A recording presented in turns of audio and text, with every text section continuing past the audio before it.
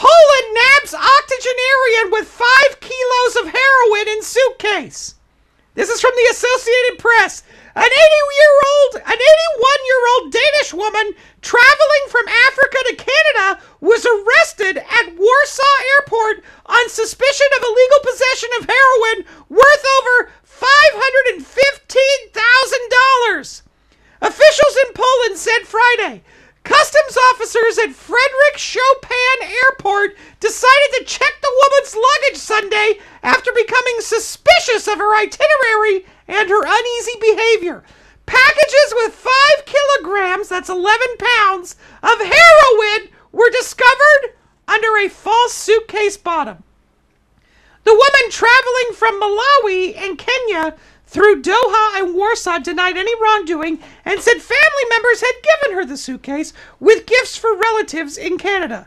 According to Alexandra, I'm so sorry, Alexandra, I can't say your last name. Skizanyars, a spokeswoman for the prosecutor's office in Warsaw. She was detained for three months! And prosecutors have opened an investigation. Under Polish law, she faces up to 15 years in prison for illegal possession of narcotics. Denmark officials confirmed that a Danish citizen was determined was detained in Poland and said the minist- the Poland ministry is uh, providing consular assistance. This woman was 81 years old. She had 11 pounds of heroin in her in her suitcase. Now I wanted to find out more about this story. So I reached out to our good friend. Oh no, where is it? Our good friend Lynette Schwartz, who is on the phone right now. Lynette is an education supervisor out of Bayonne, New Jersey. And she has a new book coming out called Out with the Older A Guide to Getting Older. Coming out September 24th. Lynette, are you on the phone? Yes, dear, I'm here. It's a pleasure to be back, Toiley. Thank you for having me. Of course, of course. I'm very excited to have you back, Lynette. Lynette! So you have read this story of this 81 year old woman who, uh, who got arrested with 11 pounds of heroin in her suitcase. Yes, I've read it, and I just want to say that um, it's dismaying. It's dismaying. You know, we, we do have a drug problem. We have a very serious drug problem in the world, and it causes things like this. And this is something that, uh, you know, I believe very strongly in, and I believe that uh, something should be done about this. Now, what is surprising to me, this woman is saying she didn't know anything about it, that, that her family just give, gave her the suitcase and the heroin was in there. Yes, I don't. I don't believe that. I believe um, that she knew fair well that that heroin was there, and she was tra- trafficking that heroin. Now, would you? Is this what they call a? Um, I don't know if this is a politically correct term, but it, and I apologize if it's not. But was she like they call them drug mules? Was she a drug mule? Oh no, no, no, no. I don't think.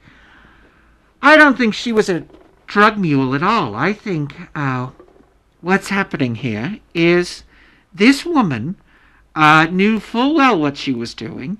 She was bringing this uh, heroin to Canada to sell. And um, see, here's the thing: a lot of times, people. Uh, I'm not. I'm, I'm not going to be too general, but people will will discount old people. You know, this is what I talk about in my book. My new book is coming out September 24th. It's called Out with the Older A Guide to Getting Older.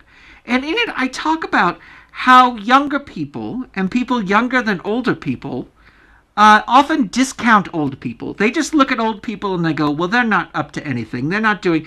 You know, it is known, and I've come on this show and I've talked about it before, how old people in in homes and uh, older, you know, elder facilities, they're having sex 24 7. All right, yeah, listen, I don't want to.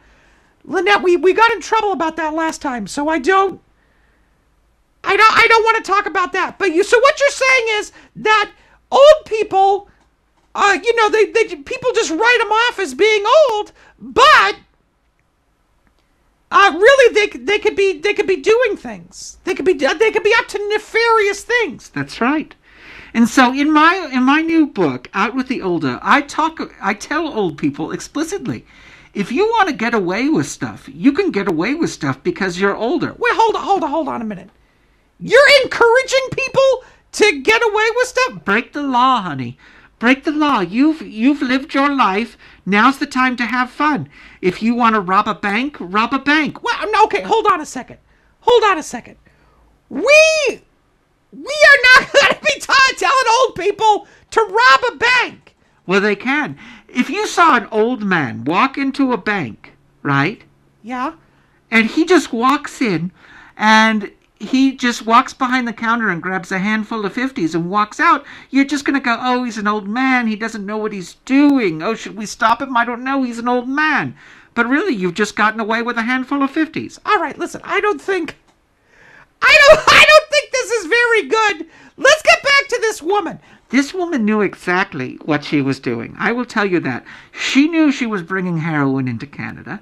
And I think when they dig a little deeper, they will see that she is the head of a large heroin or ring organization in Canada. I don't, I don't know. Now, she said that her family gave it to her. That's see, that's when you're old. You could make an excuse like that. You can be like, "Oh, uh, my my son just gave me this suitcase. I didn't know that that was in there." Then your son goes to jail, and you're you're home free. Wait, you're gonna you're gonna send you're gonna send your son off to prison? If it means that you don't go into prison, then hell yes, I would send my son. I would send my son in a heartbeat off to prison if it meant that I would get away and I would make a cool uh, five hundred and fifteen thousand selling heroin. All right, I don't. Th- I think this this is horrible. But they detained this woman, and I think they're going to hold her for three months. They're going to get to the bottom of this. Well, I'll tell you one thing right now. I'll tell you one thing. Okay. If they if they detain this woman and they hold her, and they bring down her heroin ring, uh, they're going to realize quickly that they're messed with the wrong fucking people. All right. Okay. Hold on a second. Hold on. Well, first of all, you can't say those words. You can't say those words on. Oh my God. You can't say those words on on the live stream. I'm sorry. We're listen. That woman got pinched, She did get pinched. and now they're really disrupting. Uh, disrupt Disreputing? disrupting.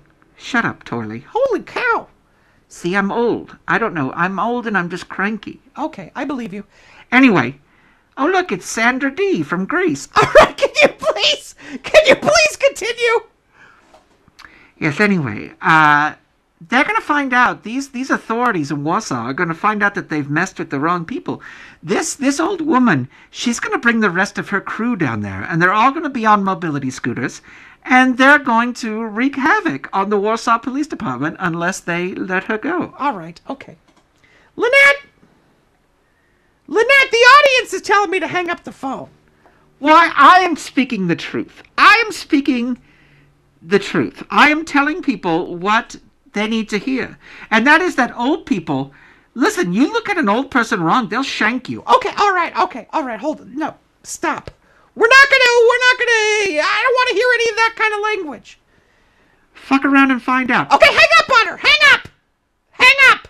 Ladies and gentlemen, I apologize. I apologize. Oh my god. We cannot. Where do you get these guests? We cannot get these guests. We could not have these guests in here. I'm still on the phone. Hang